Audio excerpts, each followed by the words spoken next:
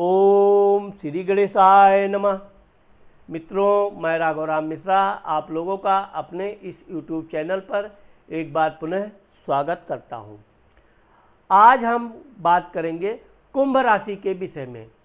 कुंभ राशि के सूर्य राशि के बारे में हम बात करेंगे। क्योंकि जिस तरह से चंद्र राशि होती है, उसी तरह से सूर्य राशि भी होती है। तो अब चूँकि सूर्य भगवान 14 अप्रैल 2023 को अपने उच्च राशि यानी कि अपने मेष राशि में प्रवेश कर रहे हैं। तो इसका कुंभ राशि वालों के जीवन में क्या क्या असर पड़ेगा?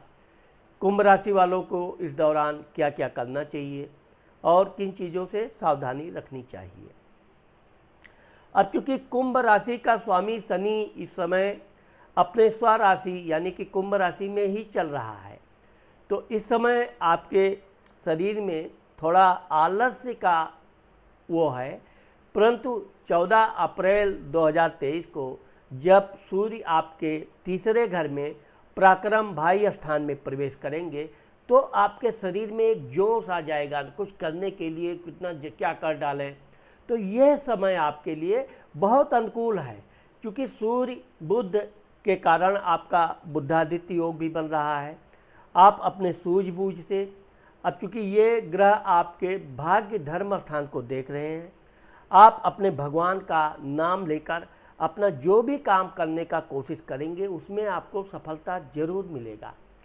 अब चूँकि राहु भी आपके तीसरे घर में बैठा हुआ है तो यहाँ पर यह है कि काम कभी कभी आपको अधिक करना पड़ेगा, थोड़ी थकान ज़रूर आपको महसूस होगी लेकिन आपको अपने कार्य के कारण विशेष धन लाभ प्राप्त होगा।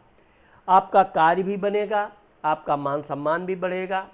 अब चूँकि 22 अप्रैल 2023 को बुद्ध बकरी हो रहा है, बकरी मतलब उल्टा।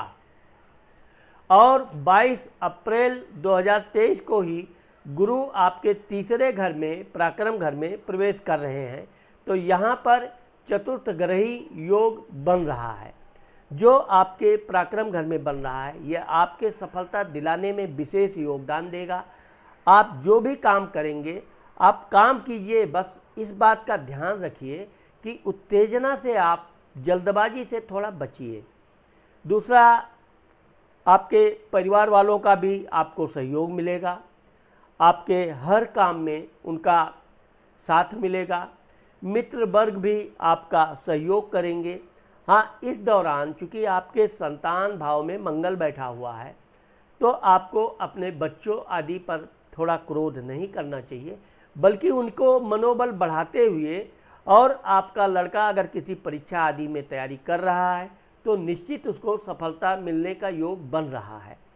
सिर्फ़ आप अपने बच्चों का मनोबल बढ़ाइए, उनको साहस दीजिए, हिम्मत दीजिए। अब चूँकि 10 मई 2023 को मंगल आपके रोग शत्रु कर्ज स्थान में जा रहा है। तो ये आपके लिए और अच्छा अनुकूल समय होने जा रहा है। आपके रोग, शत्रु, कर्ज समाप्त होने का योग बन रहा है।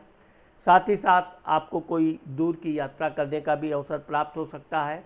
आप यात्रा करते समय अपने क्रोध पर नियंत्रण रखें और अधिकारियों से आपको भरपूर सहयोग भी मिलेगा। धार्मिक कार्य करने की आपकी बार बार इच्छा जागृत होगी और आप अपना धार्मिक कार्य कीजिए।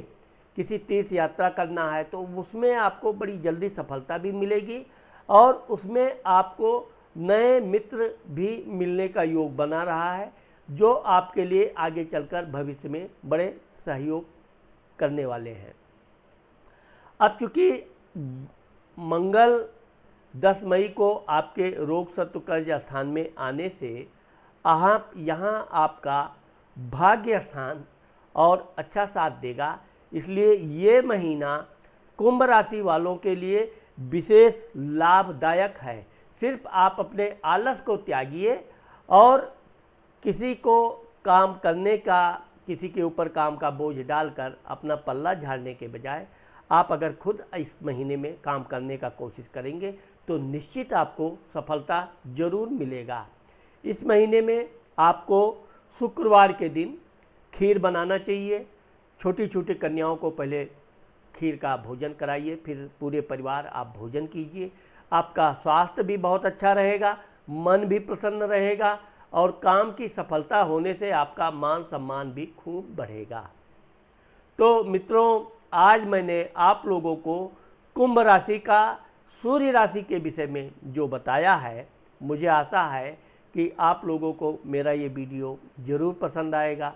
अगर मेरा ये वीडियो आपको पसंद आता है और आपने मेरे चैनल को सब्सक्राइब नहीं किया है तो आप मेरे चैनल को सब्सक्राइब करना मत भूलिए।